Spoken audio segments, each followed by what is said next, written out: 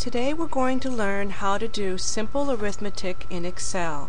Arithmetic uses the arithmetic operators, the plus sign for addition, the minus sign for subtraction, the asterisk for multiplication, and the slash for division. These are on your keyboard and if you look at the num lock section over in the far right hand side you'll see those four keys are right around the numbers to make it easier for you to use them. And the example that we're going to use does simple addition. We're going to pretend that we're keeping track of our students and their test scores. So we're going to put in a test number one. If you want to enter information into the box, you click on the box you want to type in. You type in what you want to go in there, and you can either click on the next box or press tab to go over. So I've typed in my headings of my data, and now I'm just going to type in some student names. And if you press enter, it'll take you down to the next box, and you can type the names in relatively quickly.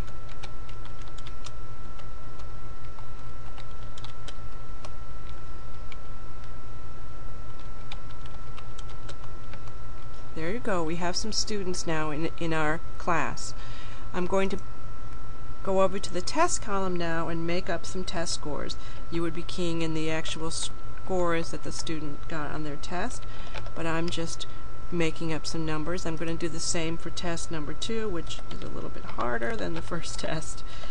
And and let's go ahead and put in some numbers for test number three. We'll make this an easier test. How's that?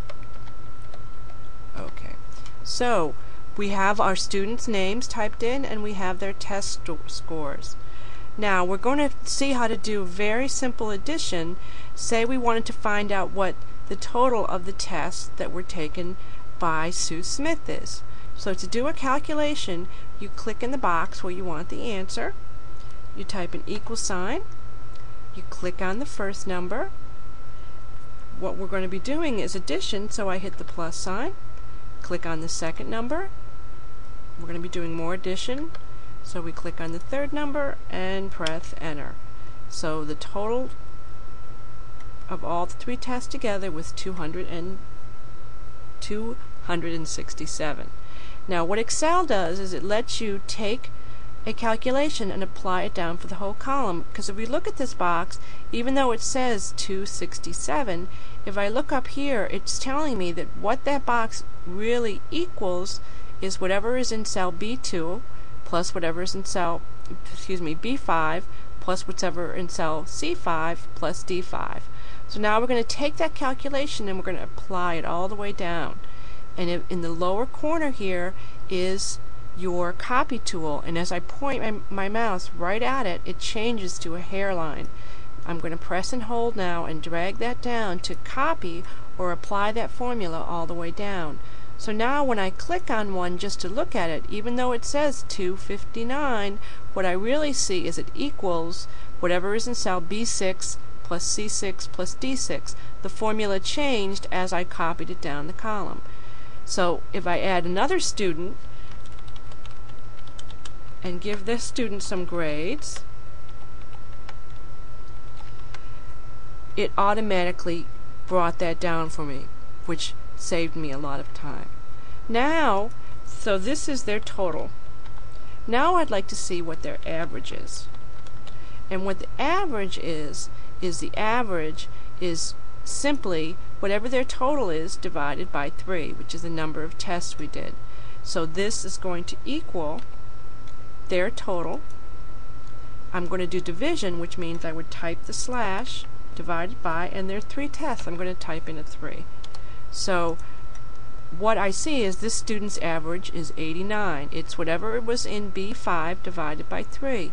I'm going to apply that all the way down, and I see that my students' grades, they all did, they're all B students. Now Excel, because these are um, division, it's rounding the decimals. So what I'm going to do is I'm going to highlight all my numbers and I'm going to go up here and say I want to decrease the number of decimals. I'm going to decrease, decrease, and it's not decreasing Let me, increase, and then me decrease. There we go. Excel is a little quirky that way, so I had to increase it before I could decrease it. But now you see all my numbers. I may want to put on one decimal point just in case to give them the benefit of the doubt, whether I round up or round down. So there, those are all my averages. So now I have my table with simple math set up where I can see that what the total of the three tests were and what the average. In the total column I did simple addition, in the average column I did division. So that's some basic arithmetic in Excel. I hope you enjoyed the lesson.